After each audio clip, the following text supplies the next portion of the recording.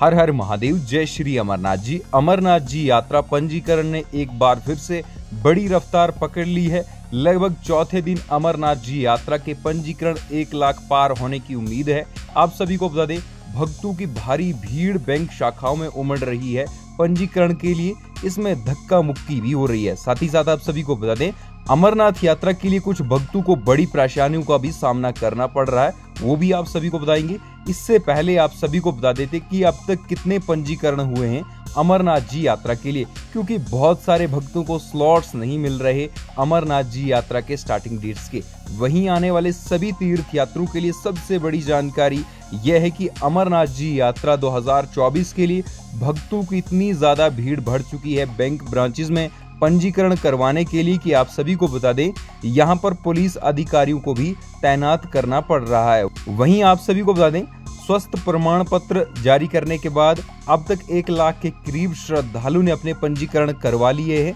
वहीं बालटाल और पहलगांव रास्ते से करवाने वाले पंजीकरणों में सबसे अधिक पंजीकरण पहलगांव से हो रहे हैं। साथ ही साथ आप सभी को बता दें, अभी अमरनाथ यात्रा के लिए जो पहलगांव रूट है, उससे लगभग 10 जुलाई तक के पंजीकरण जो है, वो फुल होते जा रहे हैं। फ़िलहाल 8 जुलाई तक के सारे के सारे स्लॉट्स फुल हो चुके हैं और इसमें ऑनलाइन पंजीकरण जो हुए लगभग तीस हज़ार के करीब ऑनलाइन पंजीकरण हो चुके हैं। वहीं पहलगांव रूट की बात करें, हम साथ में बालटाल रूट की बात करें, अठारह हज़ार से अधिक श्रद्धालु ने अपना पंजीकरण करवा लिया है। वह भी पाँच जुलाई तक पूरी तरह से स्लॉट्स बुक हो चुके हैं।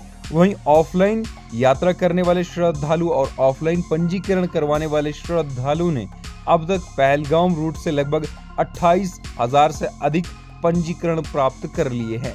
वहीं बालटाल से यात्रा करने वाले श्रद्धालुओं ने ऑफलाइन पंजीकरण के लिए इक्कीस हज़ार से अधिक अपने यात्रा परमिट प्राप्त कर लिए हैं।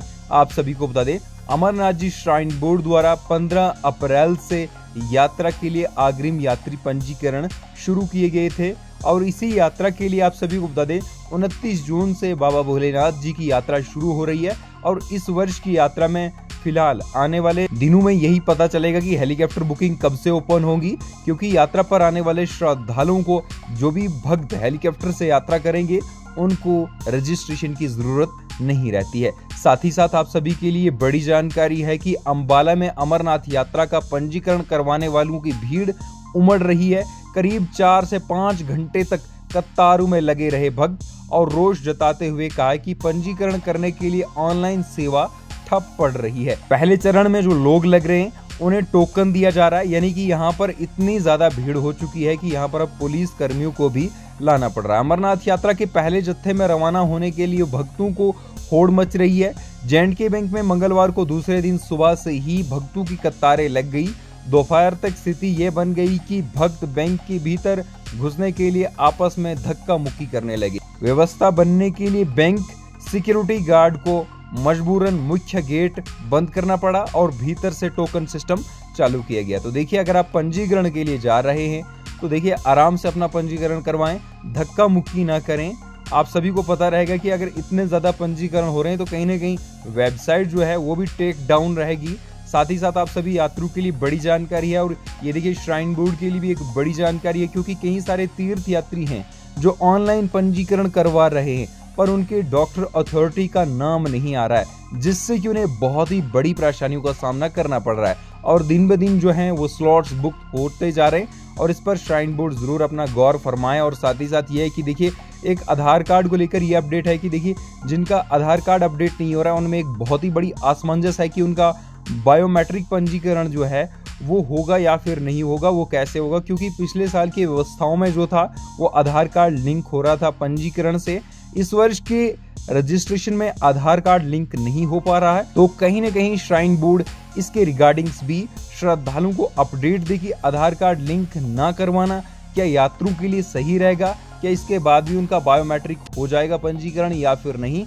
और इसी के साथ, जिन भी डॉक्टर्स की लिस्ट ना आ रही है चेयर्स की सर्वर को ठीक करे क्योंकि वहाँ पर कई सारे श्रद्धालु हैं जिनके घरों से बैंक ब्रांचेस बहुत ही ज़्यादा दूर है और इसके बाद वहाँ पर दिन ब दिन जो है वो स्लॉट्स बुक्ड होते जा रहे हैं और वह लोग बिना पंजीकरण के ही घरों पर रुक रहे हैं। साथ ही साथ आप सभी तीर्थ यात्रियों के लिए सबसे बड़ी जानकारी ये है कि अमरनाथ जी यात्रा के लिए फ़िलहाल श्रद्धालु में बहुत ही बड़ा उत्साह देखने को मिला है, जिससे कि पंजीकरण एक लाख के पार होने की आज उम्मीद है।